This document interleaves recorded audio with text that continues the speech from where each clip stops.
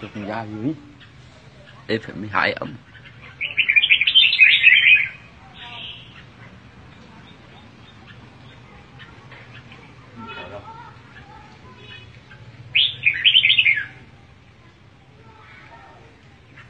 Còn dụng